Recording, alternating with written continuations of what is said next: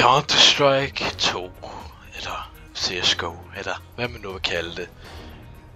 Hvis du ikke har hørt om det før, så må du bo under en sten, fordi det er det mest kendteste kompetitive spil i gaming-historie.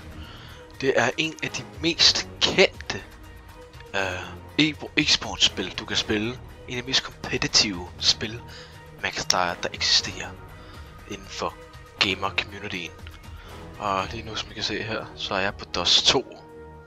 Det er det me Hvis du ikke har hørt om DOS 2, så bor du nok også under en sten. Fordi DOS 2 er en af de mest kendte maps. Det er en af Counter-Strikes i historiens Counter-Strikes mest kendte maps.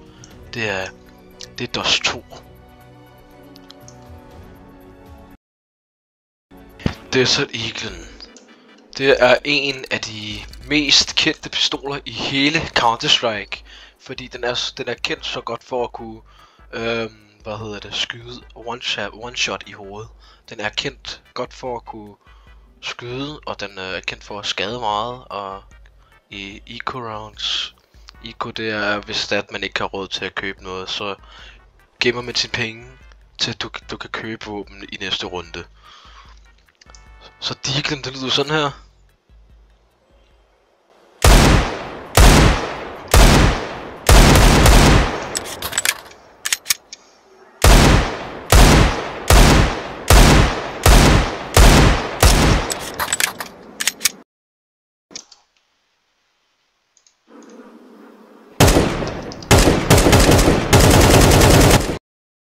Nu har jeg købt en M4 A1S. Det er en, en M, M, M16 eller en M4 eller hvad man vil kalde den. Det er, den kan du kun få som counter-terrorist. Den lyder sådan her.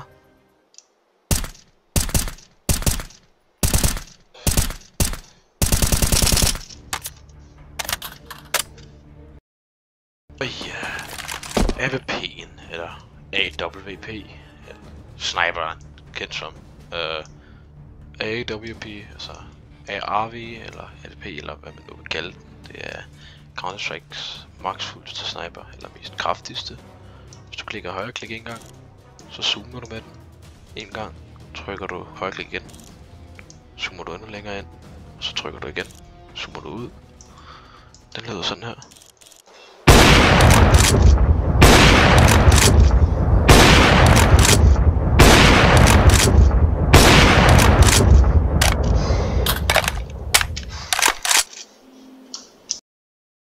En, uh, en P90. Det er en SMG. Den ser sådan her ud. Det er den mest brugte SMG i uh, Counter-Strike, fordi den skyder så hurtigt, og den er præcis. Den, den, og den, der, den lyder sådan her.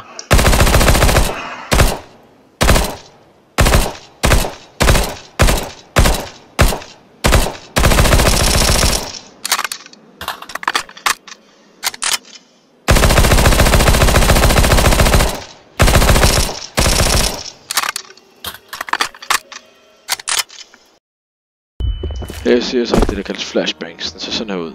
Det er sådan en, den uh, flasher der, hvis, hvis ikke, altså, jeg går ud fra, at I har hørt om flashbang. Flashbang, den, det er sådan en, der, der popper, og så bliver det helt hvidt. Det skam helt hvidt.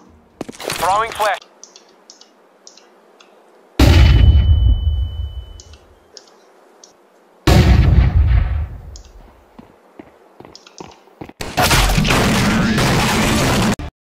Alright, uh, vi, uh, det var B. viser vi, hvordan, nu, det, det, her, det, hvordan strategier det er. Alright.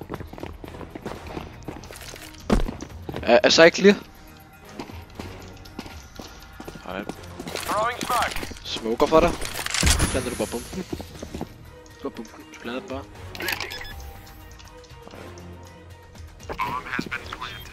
Som vi kan se her i Counter-Strike er der to teams. Terrorists. Og så er der Counter-Terrorists. Hvis du vælger terrorists, så skal du plante bomben. Og hvis den springer,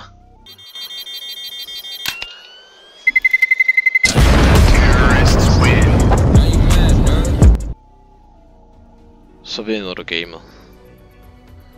Counter-terrorists. Der skal du defuse bomben.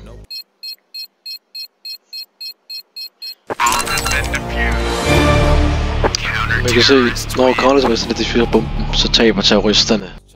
Hvis du defuser bomben, så vinder du spillet. Eller runden. Det er lige meget hvad, hvis hver hold du er på. Begge hold kan vinde. Ikke altså ikke på samme tid, men begge hold kan vinde ved at slå alle de fem modstandere på den hold ihjel. Så hvis jeg er på turist, og jeg slår alle fem på counter ihjel, så vender det vi uden at have plantet bomben. Og hvis counter terrorists, hvis de slår alle os fem ihjel, så, øhm, så vender de uden at defuse bomben. Selvom bomben heller ikke er plantet.